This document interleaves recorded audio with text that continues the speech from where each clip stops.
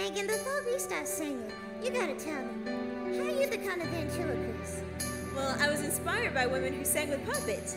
I heard you became a ventriloquist because you ain't had no friends. Really? Who told you that? That's what your mama told me. No, that's not what happened. I played with dolls, then I began to sing.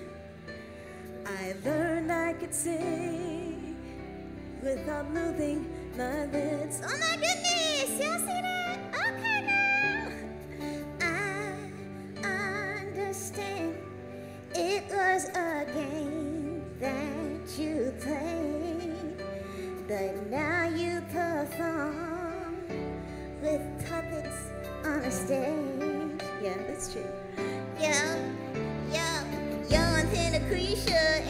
that this girl needs a hug, cause she's the boss all alone, with puppets on her own. I think she needs therapy to find some things that ain't like me. I talk to myself when I hurt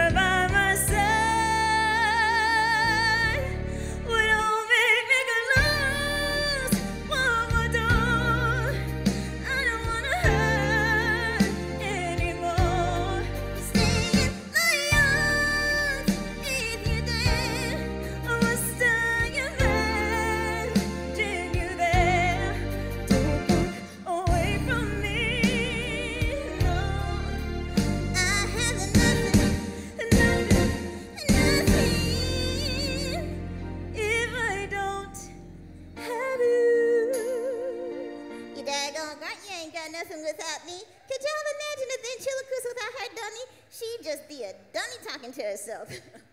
okay, Penacretia, I'm not a dummy. you sure? Yeah, I went to college and grad school. That's amazing. Thank you. Amazing that I thought at school you still out here talking to puppets. Okay.